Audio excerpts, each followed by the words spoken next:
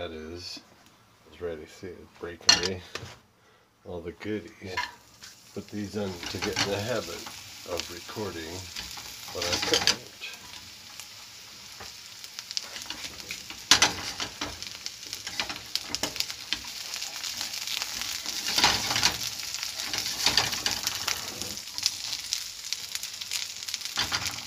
put these mushrooms in last because they add a lot of moisture. This sausage sliced everything up.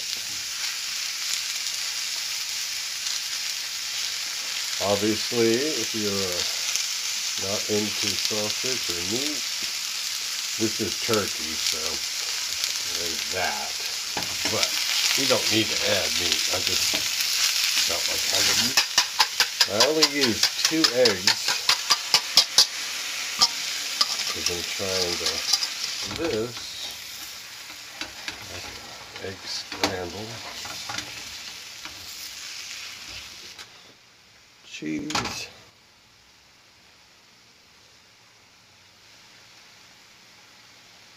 that is going to be delicious